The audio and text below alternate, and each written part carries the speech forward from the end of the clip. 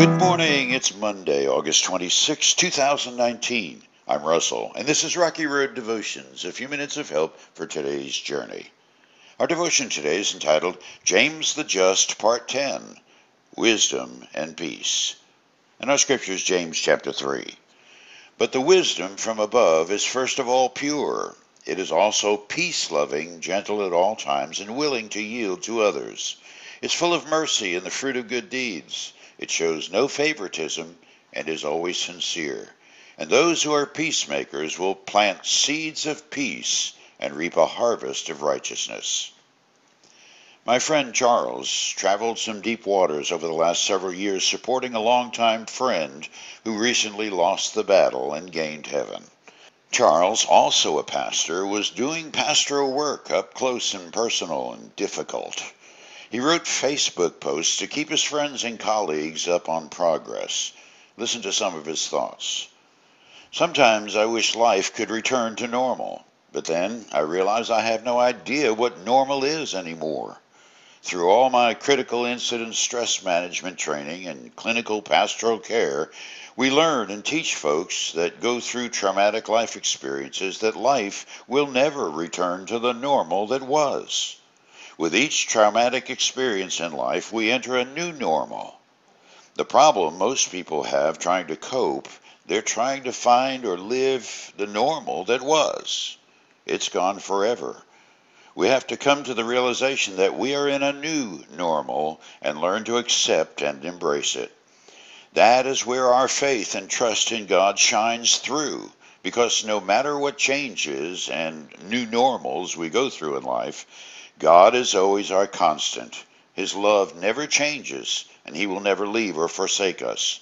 So I have to embrace what this new normal is in the present and remember God is with us in and through it. It would be normal to be angry and bitter when life gets intensely unfair. And while most believers would agree that letting go of bitterness is good, the question really is how? How in the world do we let go of something that holds on to us like the plague? Listen to the promises in these two verses and see if it makes sense.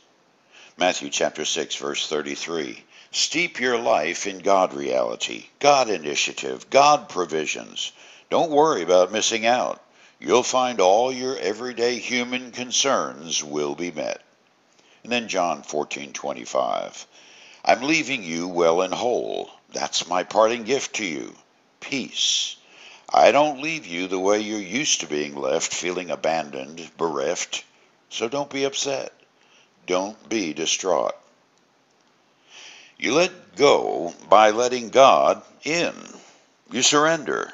So you let go, and then look what happens when you let God. According to James, when you let go of the world's ways and you ask God for His way, the wisdom to make good choices in your life begins to come your way. So it's wisdom seed which God plants within us when we let go, and wisdom begins to change us. Proverbs 1 7. The fear of the Lord is the beginning of knowledge, but fools despise wisdom and instruction.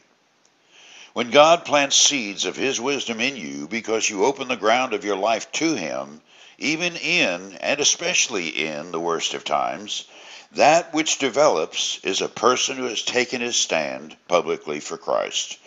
God helps you become a person of mercy and convictions, teaching you to be a person of integrity, convinced in the faith, living a life of loving the Lord publicly and privately. Now that sounds like quite a crop, doesn't it? Yet that's only the showy tassel above the corn. The real kernel, the real fruit of what grows from God's seeds planted in your life, is what's underneath all that peace. For you today, peace comes in an atmosphere of the kingdom life filled with wisdom. When you chase it, demand it, or try to imitate it, it'll slip through your fingers like a greased pig.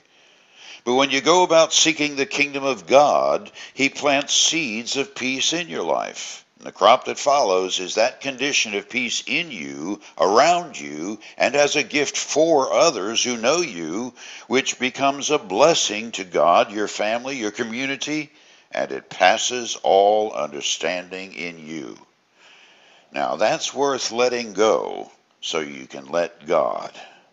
You chew on that as you hit the rocky road. Have a blessed day.